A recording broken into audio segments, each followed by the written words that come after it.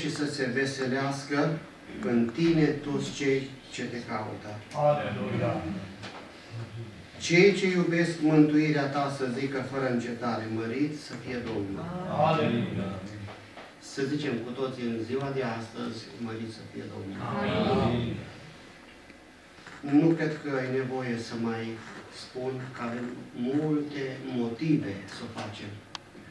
Fiecare știm în dreptul nostru pentru ce trebuie să mulțumim Domnului.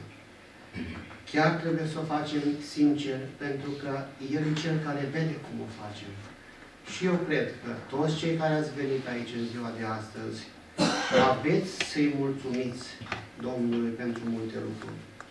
Să-i mulțumim și să-L rugăm în primul rând ca ceea ce se spune aici, că vrem să facem, să aducem o jertfă plăcută înaintea Domnului, să o primească. Să rugăm să ne ierte în primul rând, să ne Amin. curățească, pentru că știm destul de bine că dacă El nu ne iartă, nu ne curățește, de să recunoaștem greșelile noastre, câteodată și păcatele noastre, nu se poate să fim ascultați. Zicem, Doamne, iartă-ne în ziua de astăzi. Dar să o zicem în mod sincer, Doamne, iartă-ne, ascultă-ne și ajută-ne să nu pierdem vremea, să nu treacă pe lângă noi încă o zi în care să fie venit la casa Domnului și să mergem acasă așa cum am venit. Îl rugăm, Doamne, ajută-ne și în ziua de astăzi. Amin.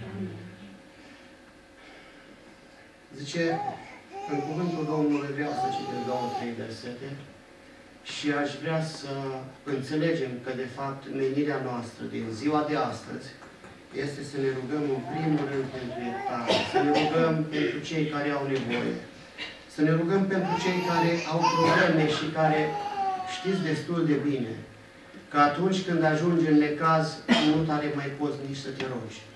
Să ne rugăm pentru ei și să zicem, Doamne, Amin. întărește și ajută Doamne, pentru că e mare, mare nevoie. Știm destul de bine cine e Cel care poate să ne curățească și să ne spele de orice păcat. Zice, El este jertfa de ispășire pentru, rețineți, pentru păcatele noastre.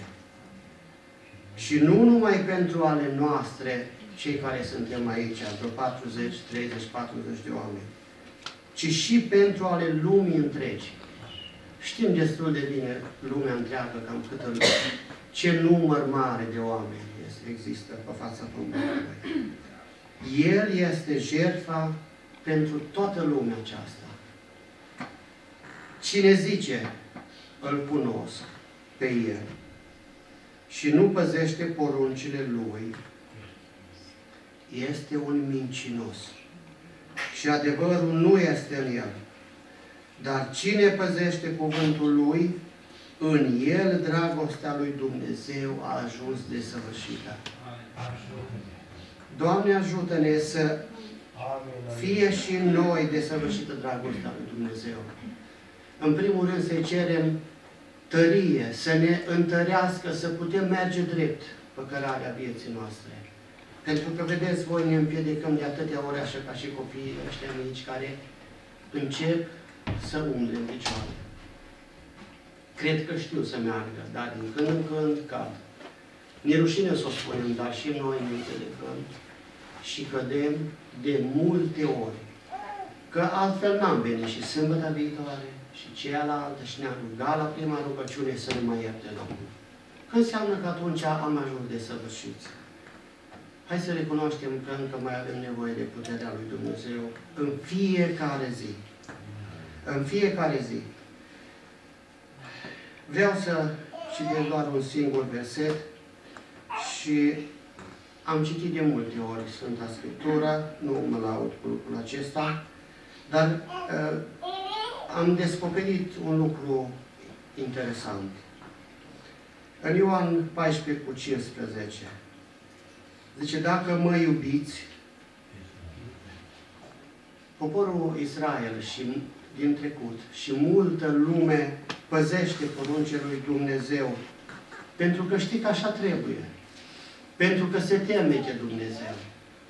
Dar aici zice, dacă mă iubiți, dacă îl iubim pe Tatăl nostru din ceruri, atunci e cu totul altfel slujirea omului pe pământ.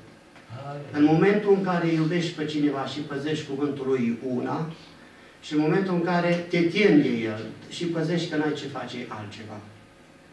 Haideți să zicem în ziua de astăzi, Doamne, mai deschide-ne ochii, mai fă să înțelegem cuvântul Tău, Amin. pentru că îl știm noi, dar e bine să-l recapitulăm cât de des. Și atunci, în urma păzirii Cuvântului Lui Dumnezeu și a poruncilor Lui, și vreau să vă spun un lucru, eu nu mă refer aici, când zic la poruncile Lui Dumnezeu, neapărat la porunca patra. Pentru că în momentul în care voi toți ați venit aici, ați știut că asta trebuie să faceți. Eu vreau să mă refer și la porunca aceasta, dar vreau să mă refer mai mult la celelalte porunci, despre care se vorbește mai puțin. Le știți voi, probabil, le știți.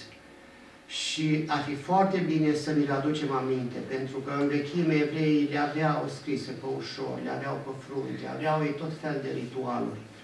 Dar în inima noastră, zice cuvântul Domnului, am să pun legile și poruncile. De ce? Ca să știe atunci când au nevoie și să nu păcătuiască. Strâng cuvântul tău în inima mea ca să nu păcătuiesc. Să ne rugăm în această rugăciune să ne ierte Tatăl nostru din ceruri, pe noi, pe cei ai noștri, pe care știm și pe care poate nu ne aducem aminte în ziua de astăzi. Și să